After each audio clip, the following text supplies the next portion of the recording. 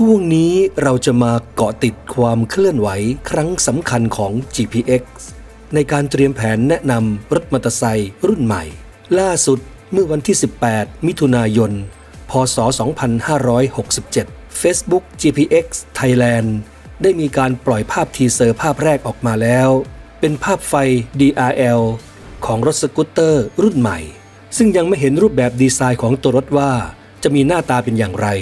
อย่างไรก็ตาม ในวันเดียวกันนี้ก็ได้มีภาพหลุดของ GPX รุ่นใหม่จำนวนสองภาพ กระจายออกไปยังโลกออนไลน์ ดูจากภาพแล้วเป็นการถ่ายในห้องประชุมของ GPX ก็ชัดเจนนะครับว่า นี่คือรถสกูตเตอร์รุ่นใหม่ ที่กำลังเตรียมแผนจะเปิดตัวกันในช่วงเดือนกรกฎาคม พศ 2567 ที่จะมาถึง มีคุณผู้ชมโทรศัพท์เข้ามาแจ้งข่าว และสอบถามด้วยความสนใจว่า นี่คือภาพของ GPX โดรน 300 ใช่หรือไม่ มันจะมีราคาค่าตัวเป็นอย่างไร และจะเปิดตัวช่วงวันที่เท่าไหร่ บอกคุณผู้ชมเลยครับว่า GPX จะไม่ได้ใช้ชื่อโดรนแต่อย่างใด จะเป็นการตั้งชื่อรุ่นใหม่ เช่นเดียวกับ Forza ที่แตกต่างจาก PCX หรือ XMAX ที่แตกต่างจาก NMAX จากกระแสข่าวเชิงลึกยืนยันเข้ามาครับว่า รถสกูตเตอร์รุ่นใหม่ ถูกออกแบบดีไซน์โดยคนไทยในแผนก R&D ของ GPX ดูจากภาพแล้วให้ความแหลมคมโฉบเฉียว มีเหลี่ยมมีสันที่บาดใจ มิติตัวรถดูแล้วไม่ใหญ่เกินไป น่าจะอยู่ตรงกลางระหว่าง Forza 350 และ PCX 160 ก็หมายความว่ามันจะไม่ใช่บิ๊กสกูตเตอร์แต่จะเป็นสกูตเตอร์ในขนาด 300ซีซี ที่มีขนาดตัวรถใหญ่กว่า PCX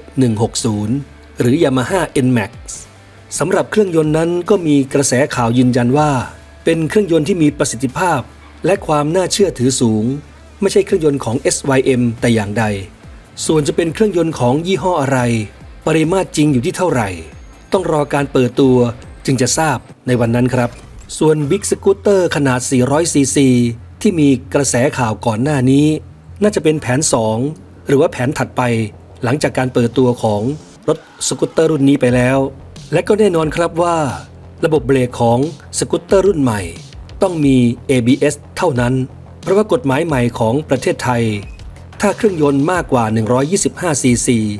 ต้องมีการติดตั้งระบบเบรก ABS มาจากโรงงาน ซึ่งในช่วงที่ผ่านมาก็มักจะมีคุณผู้ชมสอบถามกันอยู่บ่อยๆ ครับว่า เมื่อไหร่ GPX จะมีเบรก ABS ออกมาให้ได้ใช้กัน สำหรับราคาค่าตัวของรถสกูตเตอร์รุ่นใหม่ ขนาด 300ซีซีของ GPX คาดว่าจะมีราคาที่ต่ำกว่า 120,000 บาทครับ เพราะว่ามิติตัวรถนั้นไม่ได้ใหญ่เทียบเท่ากับ Big Scooter เหมือน s o n t e s 350e และ 350d ดังนั้น